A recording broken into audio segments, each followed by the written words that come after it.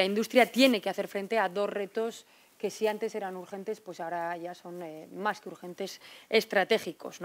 Eh, la industria eh, tiene que hacer esa descarbonización y puede además disponer de energía a un precio asumible. Navarra tiene una trayectoria conocida y reconocida por su trabajo en el ámbito de las energías renovables desde hace muchos años y aquí quiero poner en valor una vez más la importancia de la colaboración público-privada.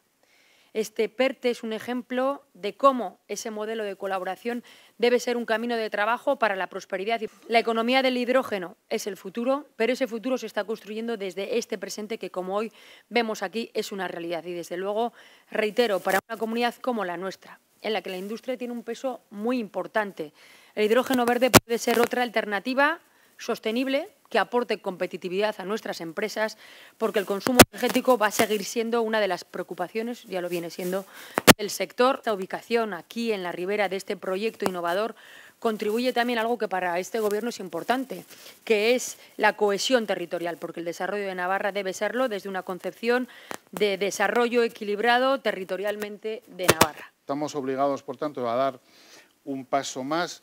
Eh, la emergencia climática, la crisis energética nos está obligando a explorar nuevas fuentes y salidas y los poderes públicos no podemos mirar a otro lado y esperar que la iniciativa privada sea la que resuelva exclusivamente de su mano esta situación. Tenemos que implicarnos efectivamente en este proceso, ser ambiciosos en la respuesta eh, y por lo tanto en la transformación también de nuestro modelo eh, productivo, en la por la descarbonización y, y de nuestra economía. Yo creo que el hidrógeno es un ejemplo claro de lo vertiginoso que está siendo el cambio, de en qué revolución estamos inmersos, no solo en hidrógeno, sino en todo lo que es esta transformación energética que realmente, siempre lo decimos, puede referir, nos podemos referir a ella como una auténtica revolución energética, lo que estamos viendo y estamos siendo testigos de ellos. La verdad es que yo creo que, eh, y mira que en Navarra fuimos pioneros y siempre hemos sido y hemos cambiado ese chip, pero lo cierto es que es apasionante el momento que estamos viviendo en ese sentido.